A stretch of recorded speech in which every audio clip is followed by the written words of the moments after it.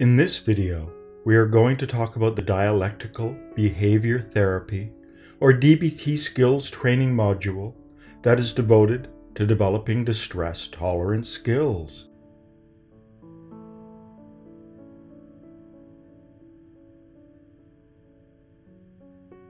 Dr. Marsha Linehan, the creator of DBT, says if you have a problem, you can either solve it using problem solving skills, change how you feel about it through emotional regulation skills or mindfulness skills, learn to tolerate it through distress tolerance skills, or stay stuck in the problem and be miserable.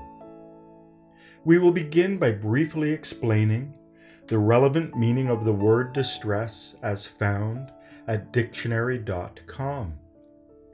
Distress is a noun that can mean 1. Great pain, anxiety, or sorrow, acute physical or mental suffering, affliction, trouble. 2. A state of extreme necessity or misfortune. And 3. That which causes pain, suffering, trouble, danger, etc. And from the online etymology dictionary, we learn that the word distress is derived from the Latin word districtus, the past participle of distringere, which means to draw apart, hinder. Now, we have all experienced moments of deep distress, where we are hindered and torn apart by events and circumstances in our life. It can be caused by something physical, such as falling down and scraping a knee, or by something emotional, such as despair and anger that arise in such situations, or even the thought of having to buy new pants or tights because the ones we were wearing are now ruined. It is like we are pulled apart and torn to pieces, and we lose our internal balance and equilibrium. Some people are able to pull themselves back together and regain their inner balance fairly easily but others, especially those suffering from borderline personality disorder or BPD and problems involving emotional regulation, can quickly spiral out of control and be swamped by wave after wave of dark, disturbing emotions that seem endless. Often, those who suffer the most attempt to numb themselves through the use of drugs or alcohol, sexual promiscuity, self harm, such as cutting, bulimia, anorexia, eating too much or not enough, engaging in other high risk activities, or simply by trying to shut down and hide away from the world. Behaviors that in the long run are self destructive and will simply make things worse by prolonging the pain and lead to even more distress. Most people can quickly recover their internal balance and get on with their life, while others seem to replay it over and over in their minds, giving it even more strength and power, so that it crushes them even more under the weight of such darkness and negativity. Distress can also prevent people from thinking clearly and seeing things in perspective or more objectively so it is a classic first person subjective or me, me, me, why me state of awareness. Now, please note that distress tolerance skills are not designed to help us avoid things that shouldn't be avoided. They are not meant to help us become like ostriches and stick our heads in the sand and hide from life. Rather, they are designed to prevent us from spiraling out of control and making a bad situation even worse. It is also important to make sure that it is not like we are grasping at straws, or to use another analogy, and hope they will magically help us to right the capsized sailboat. And just as all schools and high rise office towers are legally required to practice evacuation plans on a regular basis in order to make sure everyone knows what to do in an emergency, so they do not panic. These skills need to be practiced first, so that we are not caught off guard, flailing around trying to implement them when we need them most. This requires a twofold approach. The first is to create a distress tolerance plan similar to the evacuation plans that all office towers are legally required to have. With office towers, floors, businesses, and sections have to nominate a fire warden who attends preparatory meetings where they systematically go through the evacuation plans. Then they go to their business section or floor where they train everyone, something that involves a lot of thinking and rehearsing in advance. Stretching this analogy further, they are trained to deal with many different situations. But these are not simply conjured out of thin air, but based on things that have happened in the past. And the same applies to us. We simply have to examine our past and examine those events that have caused us to spiral out of control. Perhaps some were like bomb threats, others like gas leaks, armed intruders, smoke, fire, and so on. And so we need to identify where we are vulnerable, the ways in which we have already been triggered, the counterproductive strategies we have used in the past that have only made it worse. And this is actually an ideal exercise for moving from a first person awareness to a second person one, allowing a little bit of inner detachment to occur as we step back and review the things we have done wrong and possibly even done right. When all we have done is live in a state of first person attachment deeply embedded in life, it is no wonder we are unable to step back when we really need that inner space and become objective when we need it the most. And here, it is also important to realize that distress tolerant skills can be counterproductive if used in the wrong situation. If a problem can be solved, we should solve it rather than learning how to tolerate it. So, for instance, if we hurt someone, rather than beating ourselves up and making it worse or practicing skills that can help us to tolerate this. It would be better to solve the problem by swallowing our pride and apologizing and making amends. Everyone makes mistakes, but some of us deal with them better than others. This may also involve us recognizing it is time to grow up and stop behaving like a child. Now, while we should practice these skills in order to familiarize ourselves with them, so we do not forget them when we need them the most, they are not meant to become crutches, because in the long term, this will make things worse. It is one thing to practice wrapping our ankle up in a tensor bandage during a first aid class, and another to wrap them up every time we go for a walk because we are afraid of hurting them. And although we are discussing distress tolerance skills in isolation from the other DBT or dialectical behavior therapy skills, they cannot be practiced in isolation because they require at least a tiny act of mindfulness in order to be implemented. That is, we must become mindful that we are in a crisis and need these skills.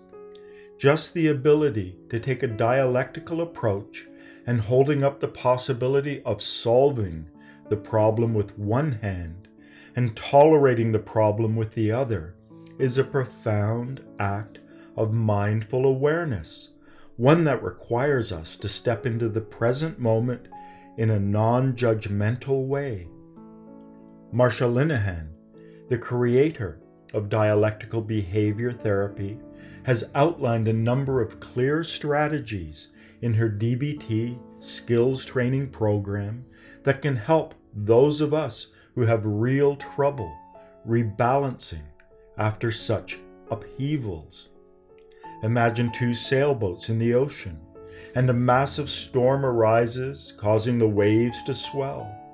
Both boats capsize and get knocked over, but one has a large keel that quickly allows it to right itself, while the other continues to take on water and get knocked around by the swells because it doesn't have a keel or mechanism to right itself. Fortunately, such a boat can be retrofitted with stabilizers that will both help to keep it upright and quickly help to rebalance it if it gets knocked over. Marsha Linehan has found the following tools to be especially effective when coping with distress, and we will go through them one by one. They are distract, improve the moment, self soothe, pros and cons, radical acceptance. Now we will discuss them one by one, beginning with distract. Marsha Linehan developed DBT to help those people other therapists thought were unhelpable, those who were suicidal, and those who cut, burned, scratched, and harmed themselves. Many people look upon self harm with horror, believing that this behavior was rooted in self hatred and self loathing, and therefore attempting to help self harmers by dealing with their core esteem issues. One thing that they fail to notice is that when a person cuts themselves, this causes their bodies to produce a whole array of biochemicals that actually causes a high similar to morphine.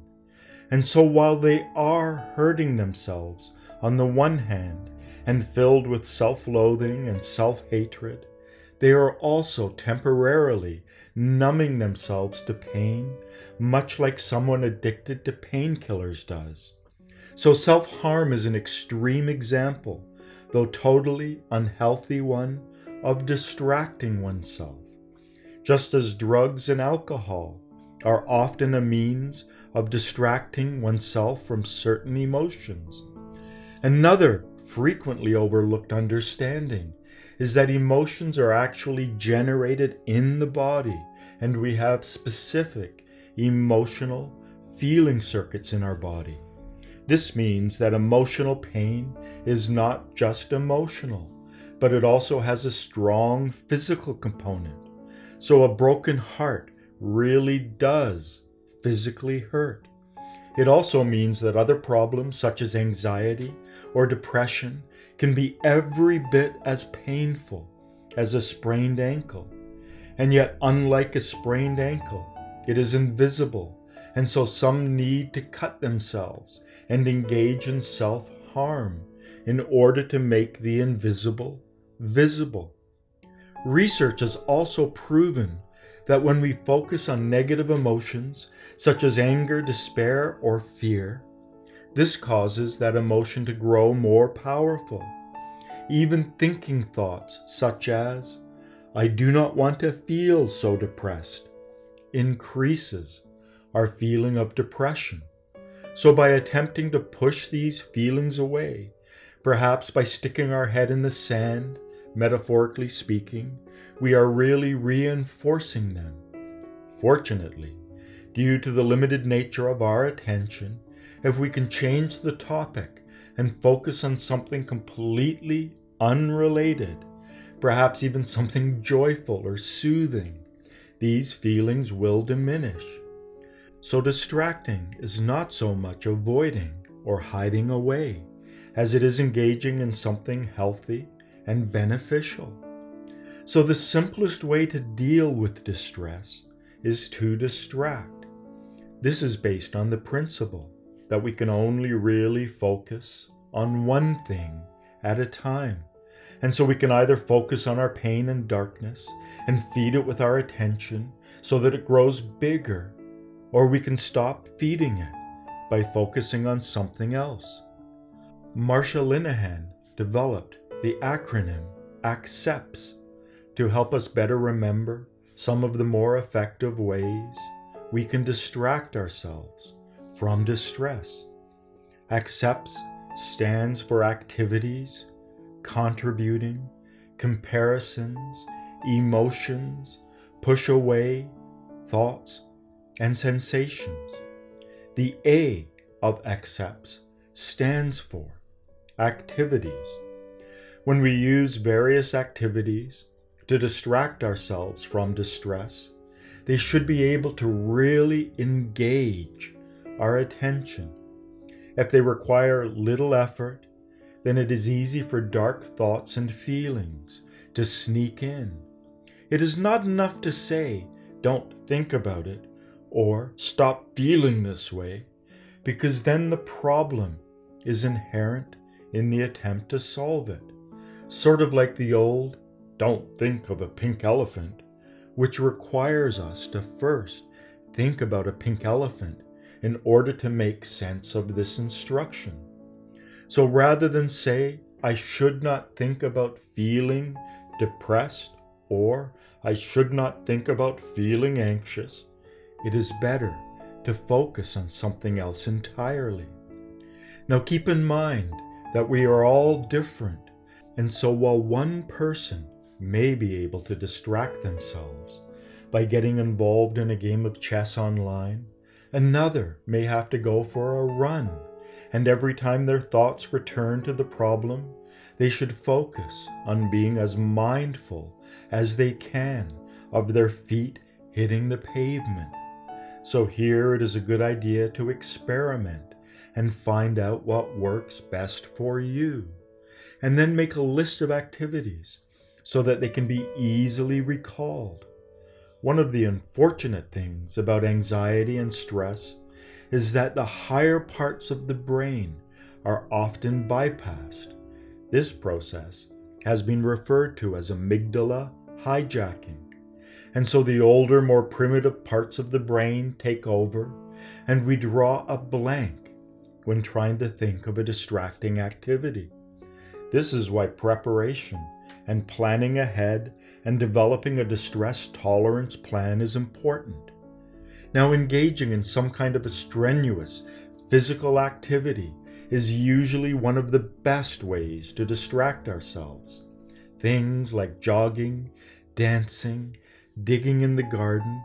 In many cases, the more strenuous the better, especially if they leave you feeling a little exhausted afterwards, because that means they have drained you of some energy, ensuring that this energy cannot be used to dwell on your problem.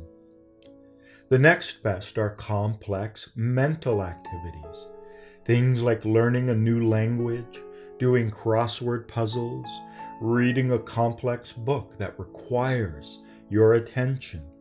One of the keys is to either make it so absorbing or so complex that there is little room for other things to bubble up from the back of your awareness.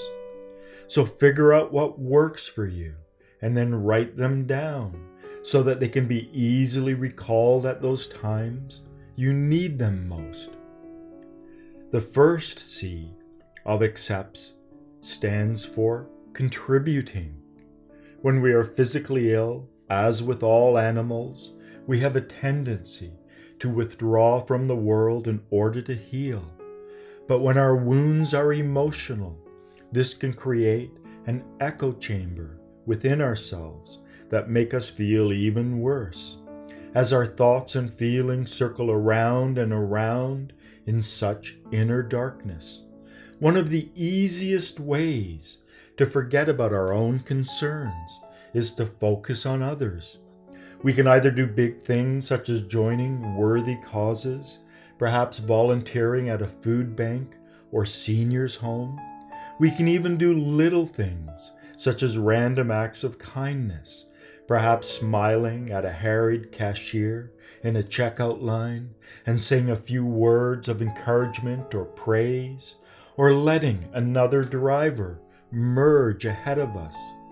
The simple act of smiling has been proven to help change our feelings, especially if we learn to not only smile with our lips, but also with our eyes.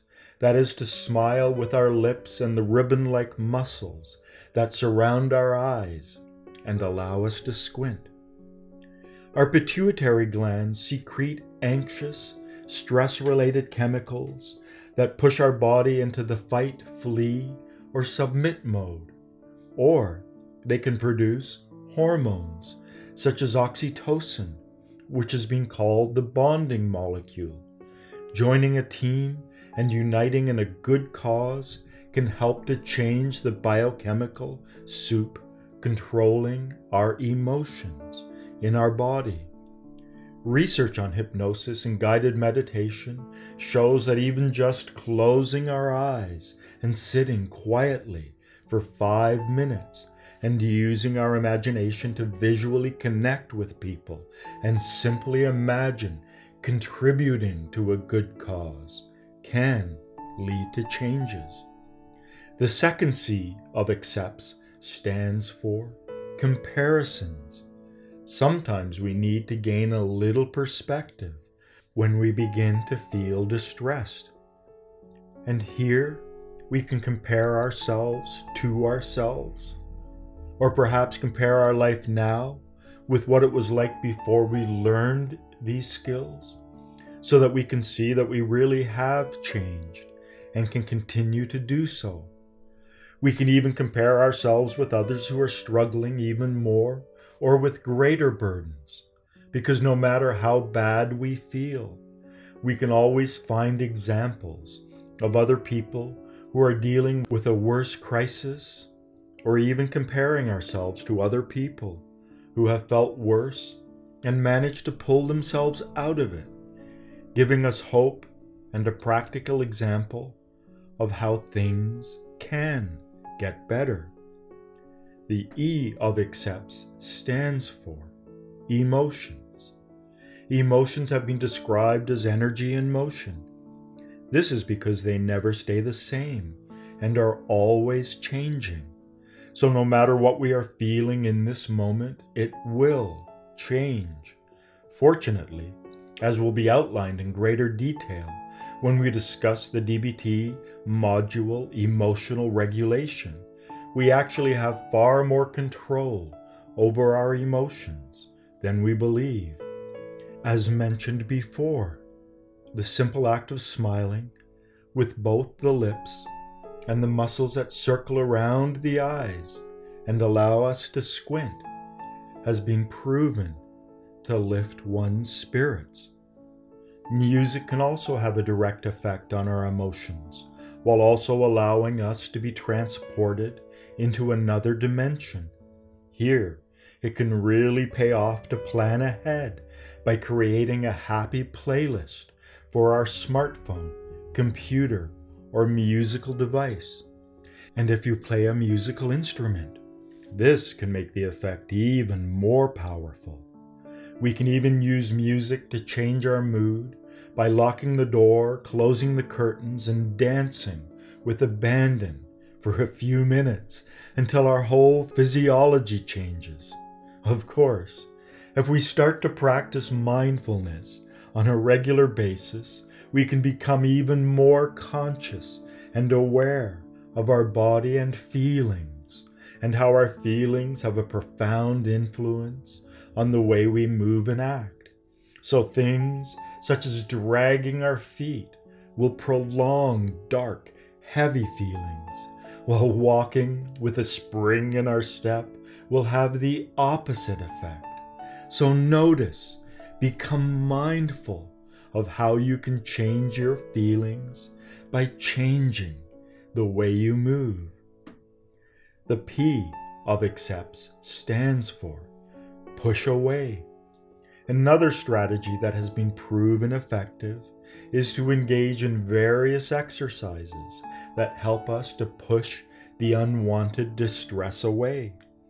If you are feeling too overwhelmed at the moment and cannot think properly, it is okay to push some problems away. One technique involves the process of visualization and imagining taking our distress and locking it in a secure box and putting it on an imaginary shelf. Here, we are not pretending it doesn't exist so much as putting it away until a time we are better able to deal with it. So it is still there in the box waiting for us to come back to it when we are feeling stronger. And this one works better the more we practice it. Now, if we have trouble visualizing, we can even write it down on a piece of paper and put it away someplace secure. Of course, when you push your problem away, always make sure to tell yourself you will deal with it tomorrow or at a time when you are better able to deal with it. Perhaps after you have calmed down or had a soothing bath, or when you see your therapist or talk to a sympathetic friend. Make sure that you do not just push it away and forget all about it, because this is only designed to be a temporary solution. Fortunately, your feelings will change and there will be a better time to deal with it. The T of accepts stands for thoughts. Every thought we think is ultimately only a thought, and as a thought, it can be changed. A classic example is counting to 10 when we are upset or angry. Not only does this give us a little breathing room, because we cannot think two thoughts at the same time, so we can either count or ruminate, but not both. Keep in mind that we do not just think in words, but also in pictures and images. So, to make this even more effective, imagine seeing the numbers in nice colors and shapes. Affirmations also work in a similar fashion. And if the distressful incident causes you to think thoughts about harming yourself, or what a loser you are, or how everyone hates you, Perhaps you can change them to loving, validating thoughts instead. Thoughts such as, I love and accept myself as I am right now. And making sure that we add mental pictures, such as visualizing ourself hugging ourself. Other ways of changing our thoughts are to read a book or find inspiring quotes or do a crossword puzzle, or even write a positive text message or email and send it to a friend. Another strategy that has been proven very effective is to stop thinking about all of the negative and distressing things that have happened to us and focus our thoughts on things we are grateful for perhaps even making a gratitude list of all the things we are grateful for, and taking this out and reading it before we go to sleep and when we wake up, so that we end and finish the day feeling grateful. We can also write a text message on our phone and send it to ourselves perhaps writing and sending it in the morning and opening it in the afternoon. We could even send ourselves one every time we have something to be grateful for, so that we can go back and read all of the messages we have sent to ourselves when we really need a boost, perhaps late at night or first thing in the morning. The S of accept stands for sensations. Although this will be covered in great detail in the section on self soothing. Just like we can use our thoughts to change our feelings, we can also use our body. Going for a brisk walk, heading to the gym, enrolling in a yoga class, putting on some fast paced music, and forcing our body to move with joyful abandon can all make us feel better. Researchers have even found that if we are fighting urges to harm ourselves, doing something as simple as holding an ice cube in our hand can provide a sufficient distraction and allow us to focus on a harmless experience of pain, watering down the impulse to self harm and channeling it in a safe way. Emotional freedom technique or EFT or tapping on various acupuncture points on our head, chest, arms, and hands has also helped a lot of people regain control. And when combined with an affirmation or words, especially the phrase, I love myself as I am right now, it becomes even more effective because we are harnessing both thoughts and sensations. The ancient yogic practice of alternate nostril breathing has also helped people regain control. And this is one of our favorites because this technique is particularly powerful because it has also been proven to help balance the brain and lead us to be more even minded. This is really simple to do and has a profound effect on how we are feeling. It may even be one of the most effective, natural anti anxiety treatments we can engage in. We just need to find somewhere quiet where we can sit undisturbed for a few minutes. We can even do it sitting on a toilet seat if that is the only place available. We begin by using the ring or fourth finger of our right hand to close our left nostril while keeping our right nostril open. Then we gently exhale through the right nostril and then inhale back in through this nostril. Then we release our left nostril and close our right nostril with our thumb, and then gently exhale and inhale through our left nostril.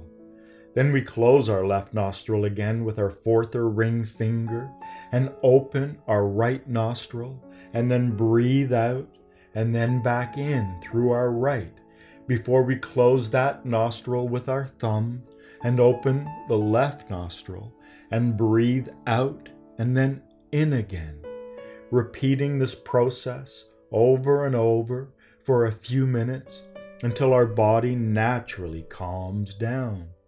Now keep in mind that we should practice this before we need it, so we do not have to put a lot of effort into thinking about it and can just do it when we really need it most. Though practicing it is one thing, and actually doing it when we really need it will demonstrate just how powerful and effective this simple technique really is. The next set of distress tolerance skills are found in the acronym IMPROVE, as in improve the moment. The act of distracting ourselves can give us the inner separation we need in order to step back from our swirling storms of distress. But we should also figure out how to make things better here and now and improve the moment. And we do this by focusing on healthy, uplifting, and life affirming activities that improve this moment so that our life becomes more livable. Marsha Linehan developed the acronym IMPROVE to help us better remember some of the more effective ways we can do this. Improve stands for imagery, meaning, prayer, relaxation, one thing in the moment, vacation, and encouragement. The I of improve stands for imagery. One of the most powerful and amazing instruments in the entire universe is the human mind and our ability to imagine. There is something called the lemon experience. When people close their eyes and imagine walking into their kitchen, opening the fridge, taking out a lemon, slicing it into four pieces, and taking one slice and biting into it, and then noticing how this exercise and imagery causes their mouth to water. Salivating is supposed to be an automatic process that can only be triggered by actual food in our mouth, and yet we are able to hack this physiological process through our imagination alone, revealing how powerful our thoughts really are.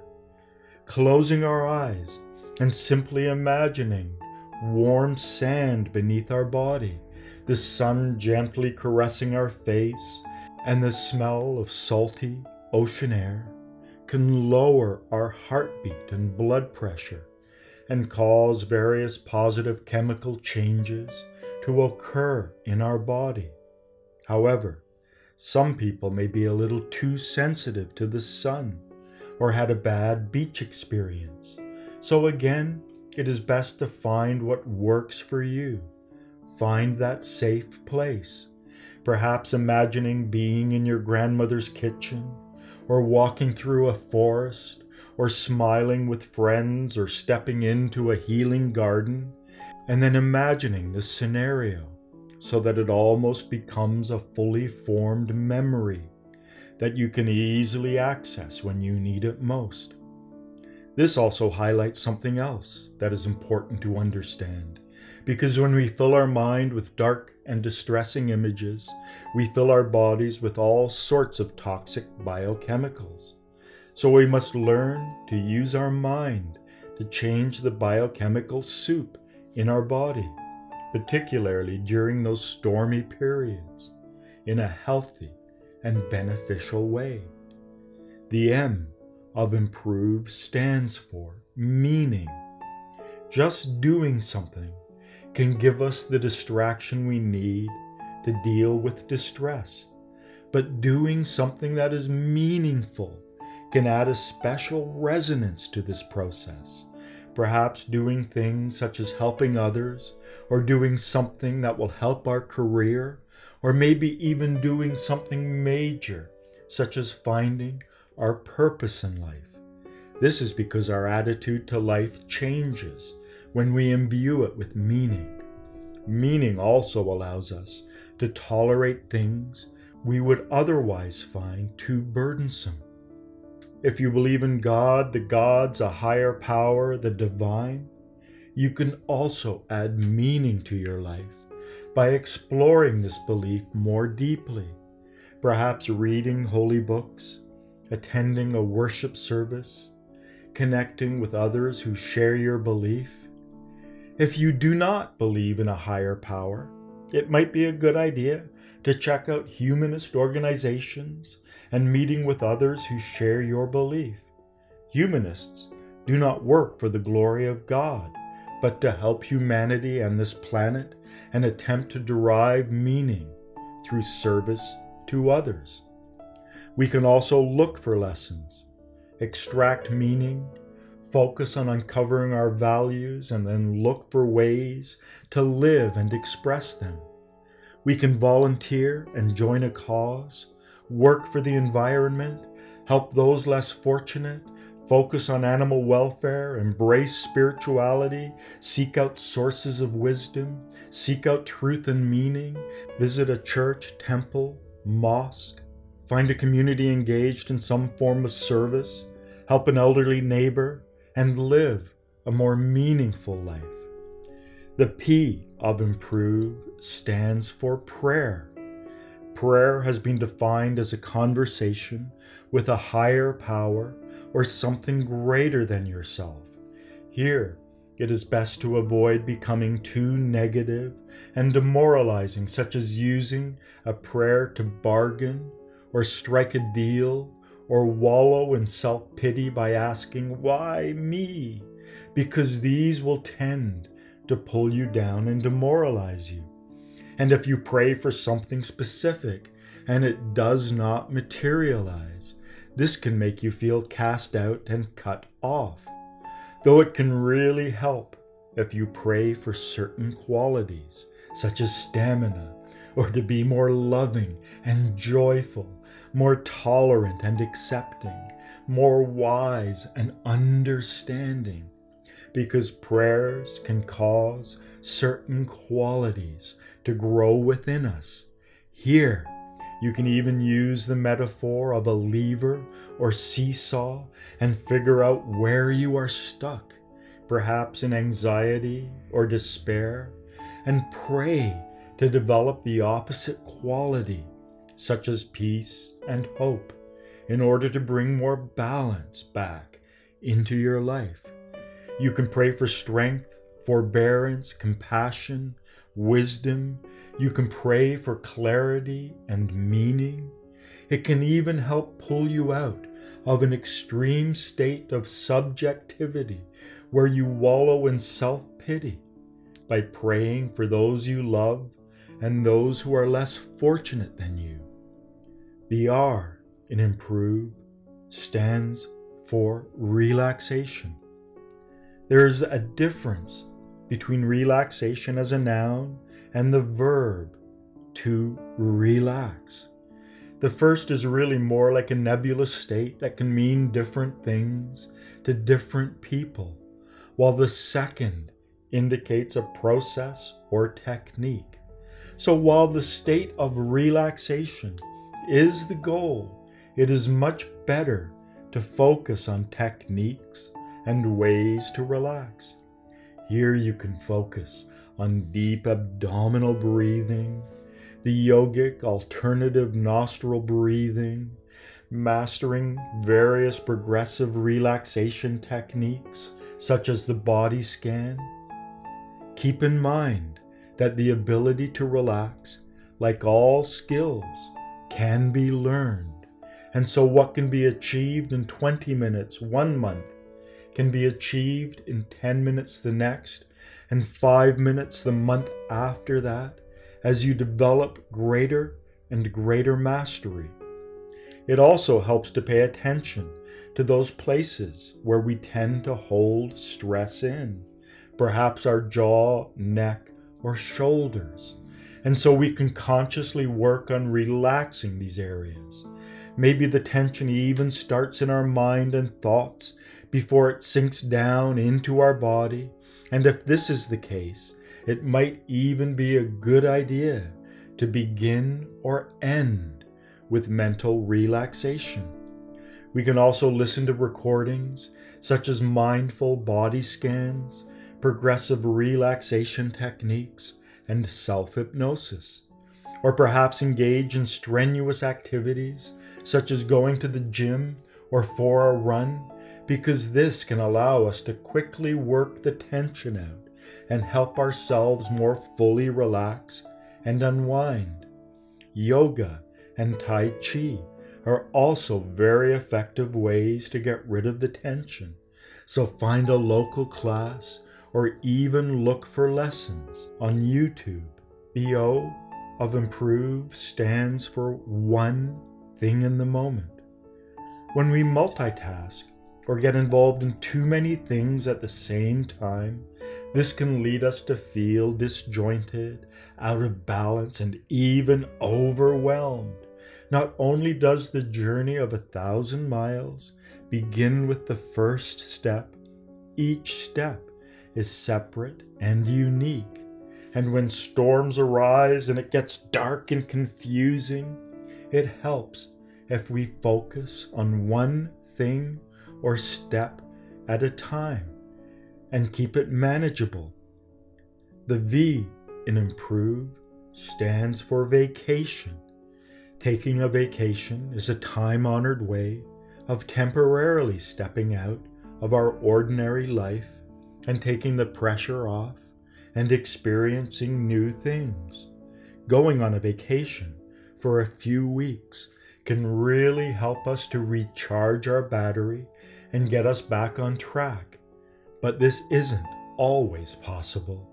So perhaps we can take a mini vacation, which could be as simple as taking a break, stepping outside for a moment, going for a massage, or deliberately doing something pleasurable. It helps if we make sure to plan little pockets of me time throughout our day where we can just let go and consciously relax. The E of improve stands for encouragement. Humans are social animals, and while we often tend to hide away and shut down when things get too overwhelming, it can help to find people who believe in us and can encourage us to keep going and persevere. Family, partners, friends, and colleagues can all help.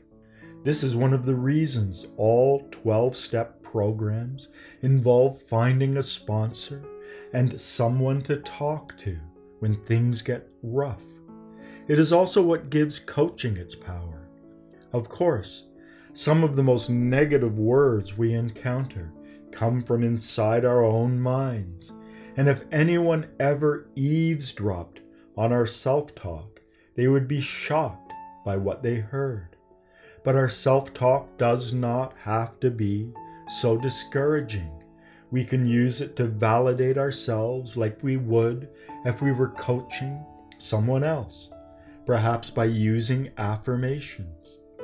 There is a popular quote about how a lie told often enough becomes the truth. And this not only holds true if someone such as a politician repeatedly lies to us, but also if we repeatedly lie to ourselves. And while we might not feel as if we are strong or capable or confident, if we repeatedly lie and tell ourselves we are strong, capable, and confident, these words will begin to develop a truth of their own, like a snowball rolling down a hill. Self soothing however vast and all encompassing our thoughts and feelings may appear, we are really physical beings inhabiting a body, and our five senses provide excellent ways of distracting ourselves from dark, swirling thoughts and overwhelming emotions.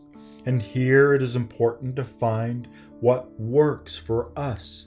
The smell of baking bread may transport one person back to the safety and love they found in their grandmother's kitchen, while another may find a warm bath far more soothing. So we should experiment beforehand and then write down a list of what works for us, because we do not tend to think very well at those times when we really need to. Now keep in mind that self soothing is a profound act of mindfulness because it draws us back into the present moment in a non judgmental way. We can self soothe through the use of sight. Here, such things as pets, plants, landscapes, sunrises and sunsets, starry skies, the wind causing leaves to dance, and other things we can see in the natural world can all have a profound therapeutic effect. Even just stopping and focusing all of our visual awareness on an ordinary object, such as a pen, can provide much needed distance from certain thoughts and feelings. Perhaps we can go for a walk with the intent of seeing something we have never really noticed before. Maybe we can even go online and do a search for color therapy and find which tones work best for us. Sound. There is a special connection between music and feelings, especially when it can transport us back in time. So we should come up with a list of songs that resonate deeply within ourselves and create a playlist that we can easily put on when we need it most. Maybe we can even pay special attention to a particular instrument or vocal track, even just focusing on the sound of traffic or something repetitive such as a tumble dryer can be enough to allow us to separate ourselves from our tumultuous thoughts and feelings. Smell. The sense of smell is the only sense directly hardwired into the brain and it does not need to go anywhere first to be processed. and can easily evoke long forgotten memories. Smells also have a way of subliminally affecting our feelings, as the emerging field of aromatherapy has proven. We can light some incense, open a bottle of essential oil, inhale the scent of fresh laundry, peel an orange, smell food, do some baking. Perhaps we can even just close our eyes and focus our whole being on what we can smell as we deeply inhale. Taste. We often enter into a trance when we eat and end up paying so little attention to the fusion of tastes that enter our mouth. But when we slow this process down and become mindfully aware of specific tastes and flavors, we stop being so robotic. So we should not mindlessly scarf down a whole chocolate bar in a few seconds, but simply take a tiny piece and allow it to slowly melt in our mouth as we focus on it with all of our awareness. Eating with mindful awareness has even been proven to help those on a diet lose weight because we stop trying to fill that emptiness in our stomach through quantity and instead focus on the quality of our food. This is especially true if an eating disorder is connected to our inability to regulate our emotions. Touch. Touch is also one of our more elemental senses because it is not limited to a small part of our body, such as our eyes and ears, but can be experienced everywhere. However, since we have more sensory nerve endings in our hands and fingers than we do in our lower back. Holding things in our hands and touching soothing objects with our fingers can be particularly effective. Perhaps we can stroke a cat or run our fingers along an object with a comforting texture. We can even put on clothes that have come straight out of the dryer or snuggle in a warm blanket or comforter and touching another person, perhaps even running our fingers down our partner's arms or massaging the back of their neck can have a profound effect. Maybe we can even have a massage and focus on the soothing touch of oil and hands on our body. The key is to find what works and then do it when we need to. Another distress tolerance skill is pros and cons. Sometimes we are so caught up in life that we are unable to see things objectively, so it can really help to take a metaphorical step backwards and put things in perspective. This is where pros and cons come in, because this DBT skill requires us to sit down with the pen and paper and list all of the costs and benefits associated with a specific action. It also allows us to see that even the worst behavior fulfills some sort of need and has some benefits, though it will also show us that the costs will eventually outweigh the benefits. So we should think of all of the positive consequences that will come if we simply tolerate the distressful situation and do not fall into our old destructive patterns. And then to think of all of the negative consequences of falling into those old patterns, perhaps recalling events that happened in the past and then metaphorically weighing the two. Another distress tolerance skill is the TIP skills. The T stands for temperature change, the I for intense physical activity, and the P for paced breathing. Emotions are ultimately physiological and occur in the body, and they are connected to various biochemical processes within us. This means that through the strategic use of tip skills, it is possible for us to quickly override this process of emotional arousal because if we can change just one link in the chain, we can change the whole chain. There are two competing systems in the human body one controlled by the sympathetic nervous system, which gears the body to fight or flee and is responsible for the rapid rise of certain emotions, and the other which is controlled by the parasympathetic nervous system, which turns this response off and lowers the intensity of emotional states. Tip skills can hack this process and help us to activate our parasympathetic nervous system.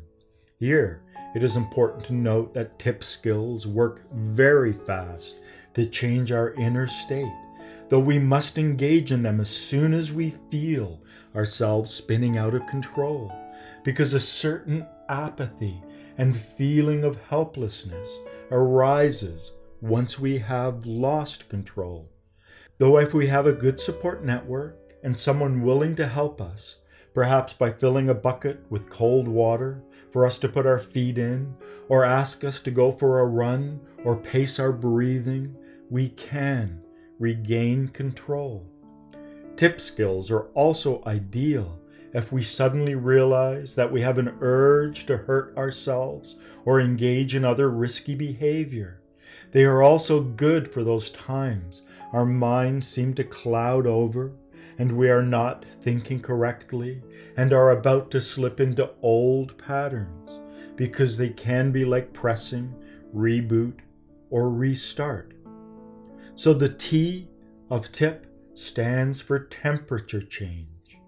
Research on drowning in cold water shows that when we get submerged in cold water, the dive reflex automatically takes over and lowers our heartbeat and calms us down so that our chances of surviving increase. So, filling a sink with cold water and submerging our whole face from the chin right up to the ears and the top of our forehead for 30 to 60 seconds can activate this process and cause the parasympathetic nervous system to kick in and calm down our entire body. We can even simply hold an ice pack over our eyes, rub it on our forehead, or rub ice cubes on our wrists, the back of our neck, or under the carotid arteries. That is, the arteries under our ears, just behind our jawbone, that brings blood to our brain, though not for too long, or we can cause freezer burns. The I of TIPS stands for intense physical activity. Intense aerobic activity such as jogging or hitting the gym has been proven to have a beneficial effect on our mood. When we really push ourselves, this overrides dark, repetitive thoughts and feelings. It not only increases positive feelings, but also gives us a sense of accomplishment and empowerment and a feeling of mastery.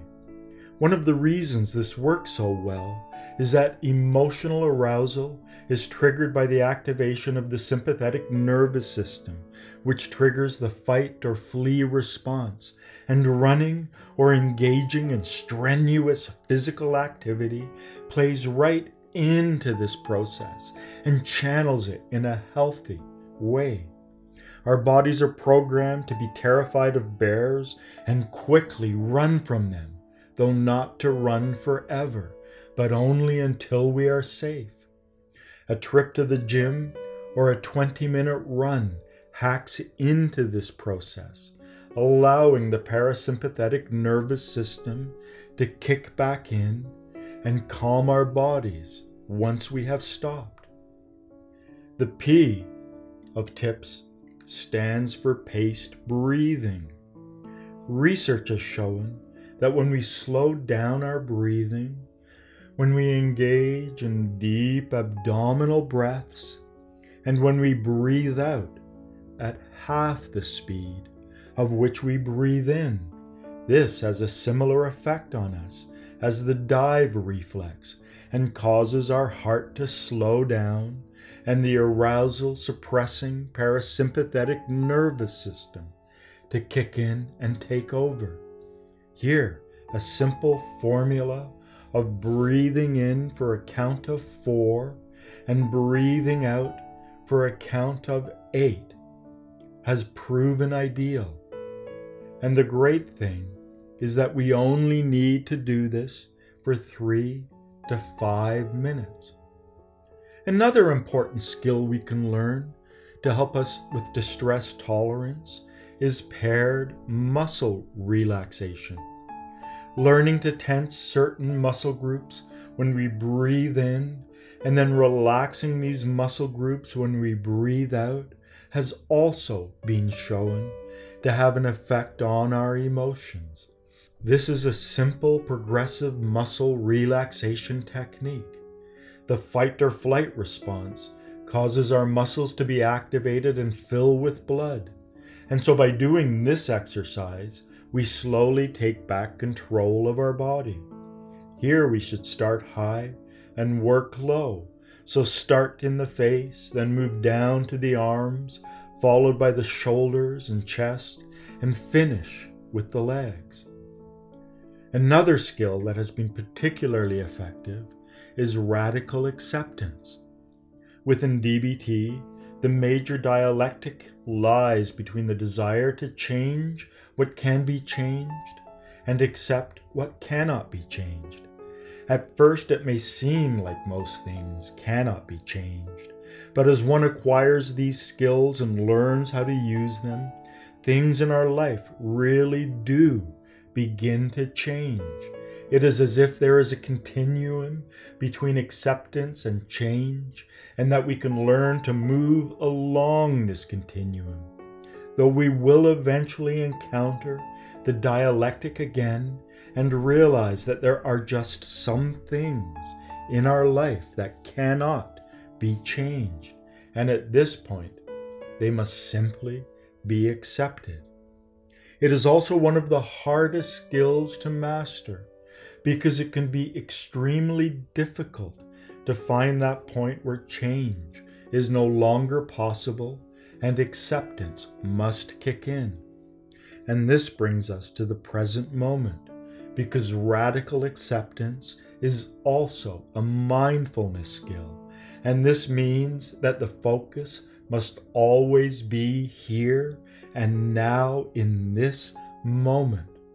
So if our car breaks down, rather than allow this to overwhelm us and call forth all sorts of negative emotions, we must accept it and not use it as an opportunity to psychologically bash ourselves or moan about fate and how we are so unlucky, and just accept what is without the corrosive internal commentary.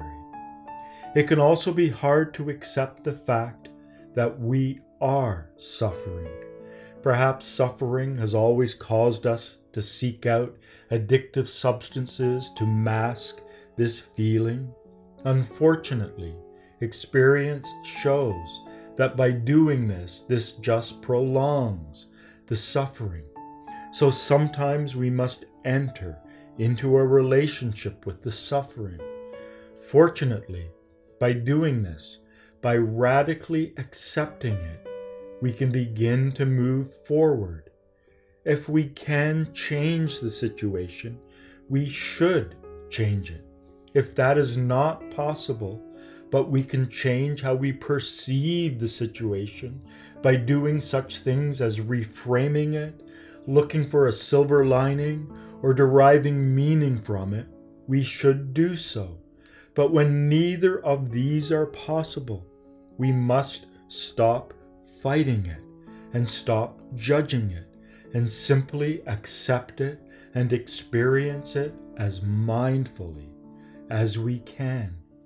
This does not mean that we must approve of the situation or even like it, but just make peace with it. In Buddhism, the Buddha said life is suffering. Suffering grows from desire. Desire is caused by attachment. Therefore, the way to break free from suffering is to practice detachment. And detachment is one of the side effects of mindfulness, as we discussed in the segment on mindfulness. Most suffering is felt in the first person, and by this we mean it involves a why me? What did I do to deserve this? While the process of accepting allows us to inwardly detach into some place deeper within us. We can scream and cry because our tooth hurts, or we can simply inwardly detach and observe the pain and accept that things like this just happen. A car breaking down is simply a car breaking down. And if this means we cannot get to that job interview, it means we cannot get to that job interview. And there is nothing we can do to change this. It is reality, and it is foolish to fight reality. Crying about our bad luck will not solve anything. And attempting to mask our emotions through drugs or alcohol will probably even make things worse because we will end up creating a vicious cycle where we drink to cope with the negative consequences of drinking. Perhaps we should have taken the car to the garage, but we did not. And beating ourselves up and getting mad at life will only make things worse. And so the only way forward is to stop judging and enter into the present moment and simply accept that what happened, happened, and proceed from there. When we cannot shape reality to our will, it is better to simply accept it. And this brings us to the final distress tolerance skill we will be discussing here the need to create a distress tolerance plan. As we mentioned earlier, it is not a good idea to wait until we are distressed to think about different ways we can cope. So we should come up with our own written plan. This involves not only writing out lists of things we can and have done to help ourselves deal with distress, but also rehearsing the various techniques beforehand so that we are familiar with them. And rather than worrying that some will not work when we need them, we should cast as big a net as possible so that we have a whole host of strategies available to us. So go online and do a little research on how to create a distress tolerance plan, and then go back through all of the skills we have gone through here and make your own plan and here, it is important to make sure that it can be edited and updated so it can change as you change, and then to keep it somewhere accessible so that you can easily access it when you need it most. Perhaps even keeping a digital copy on your smartphone or as an email attachment you have sent to yourself. The more we plan, the better prepared we will become. And the better prepared we are, the stronger we will grow. So think, plan, practice, and prepare so that primitive part of our brain does not take over and make us do stupid things. This is why training is so important in the military, so that when a soldier encounters danger, they do not lose control, but fall back onto the skills they have developed through practice and training. Now, in conclusion, we would like you to practice some paced breathing where we breathe in for a count of four and then breathe out for a count of eight, making sure to expel as much air as we can from our lungs when we breathe out. So breathe in two, three, four. Breathe out two, three, four, five, six, seven, eight. Breathe in, two, three, four. Breathe out, two, three, four, five, six, seven, eight. Breathe in, two, three, four. Breathe out, two, three, four, five, six, seven, eight.